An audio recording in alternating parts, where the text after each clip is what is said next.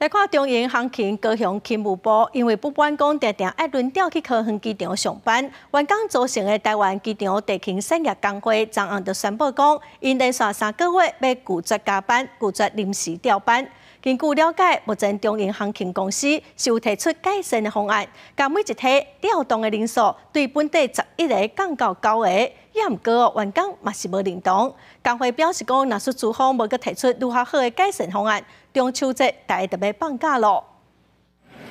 中银航勤因为投机人力登记无够，一直调动高雄勤务部员工上班桃园机场工作，造成员工人力奔波，无法度照顾家庭。即马过半员工组成台湾机场地勤产业工会宣布，为即马开始连续三个月发动拒绝加班、拒绝临时调班。高勤部这边才会去呃发发动一个拒绝加班、拒绝调班的这样子的一个诉求，是因为希望公司可以正视说人力就是不足。对，如果人力足的话，我们不会需要加班，我们不会需要这样子调来调去。根据了解，当前航勤高勤部员工提出诉求，包含做完调动压力、保障高雄机场合约进力，希望当前航勤公司应减少每一班调动人数。提早结束调动期间，东营航勤提出上新的改善方案，将每一摆调动人数为十一人降到九人。今年最后一摆调动只到十月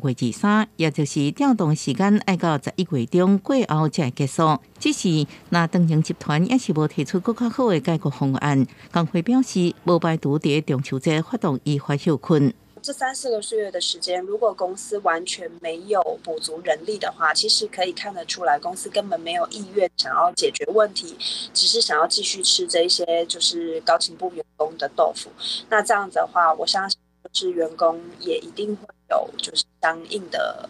作为啦，工会后有登营集团关紧甲员工达成协议，停止无适当的调动，啊那无不只是五一节连假，就连中秋节的数分，拢可能受到影响。记者综合报道。